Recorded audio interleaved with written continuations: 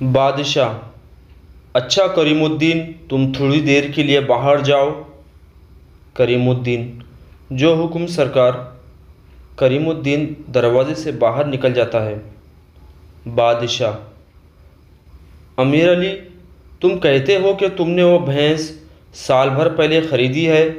बताओ तुमने कितने में ख़रीदा था उसे? अमीर अली, दस हज़ार रुपये में आलमपना बादशाह, तुम दोनों के यहाँ आने से पहले करीमुद्दीन ने हमें बताया है कि भैंस के एक टांग पर ज़ख़म का निशान है। तुम बता सकते हो ये ज़ख़म किस टांग पर है? अमीर अली घबराते हुए, ज ज ज, जी हाँ आलम पना उसकी अगली दाएँ टांग पर वाकई एक ज़ख़म है। बादशाह, बहुत खूब, करीमुद्दीन ने यह भी बताया था कि उसकी दुम पर कुत्ते के दांतों के निशान है। क्या वाकई? अमीर अली, जी हाँ हुजूर, एक दफ़ा मेरे पालतू कुत्ते ने उसे काट लिया था। बादशाह, बुलंद आवाज़ से, फरियादी करीमुद्दीन को हाजिर किया जाए। पहरेदार, करीमुद्दीन हाजिर हो। करीमुद्दीन अंदर दाखिल होता है।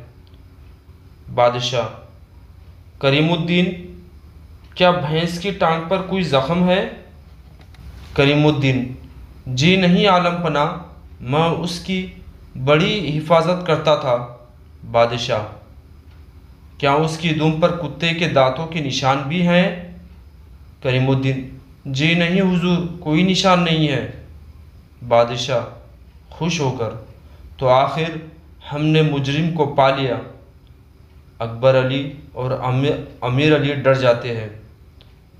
अमीर अली, तुम्हारा झूठ खुल गया है। अमीर अली और अकबर अली सर झुकाए खामोश खड़े रहते हैं। बादशाह, भैंस की दुम पर कुत्ते के दांतों के निशानात एक मन घड़त बात थी। तुमसे सच उगलवाने के लिए हमें ये तरीका इख्तियार करना पड़ा। बड़ी शर्म की बात है कि इतने खुशहाल होने के बावजूद तुमने एक गरीब आदमी पर जुल्म किया? हमारा हुक्म है कि अमीर अली के साथ उसके झूठे गवाह को भी कैद खाने में डाल दिया जाए और करीमुद्दीन को उसकी भैंस के अलावा शाही ख़जाने से भी कुछ रकम दी जाए।